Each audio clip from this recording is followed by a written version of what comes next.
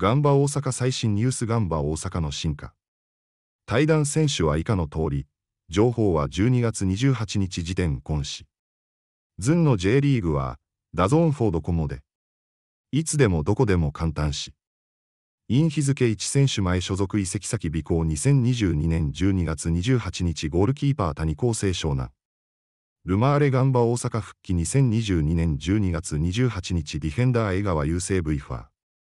長崎ガンバ大阪新加入2022年12月20日ディフェンダー佐藤陽大ベガルタ。大ガンバ大阪復帰2022年12月16日フォワード塚本大津永源金沢が。馬大阪復帰2022年12月7日ミッドフィルダー杉山直弘ロアソ熊本ガンバ大。新加入2022年10月4日ミッドフィルダー高橋隆太静岡学園高等学校ガンバ大。新加入2022年9月16日フォワード南野晴美ガンバ大阪ユースガンバ大。昇格アウト日付1選手前所属移籍先尾行2022年12月20日フォワードから山賞ガンバ大阪水戸ホーリーホック期限付き。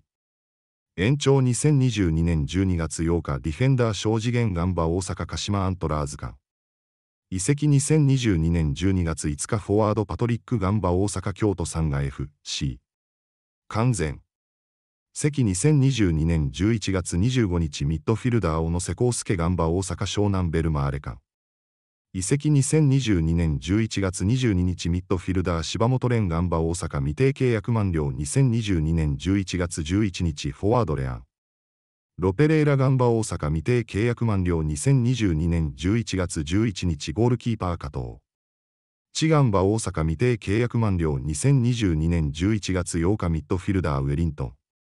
ウバガンバ大阪未定契約満了2022年11月8日フォワードパトリックが。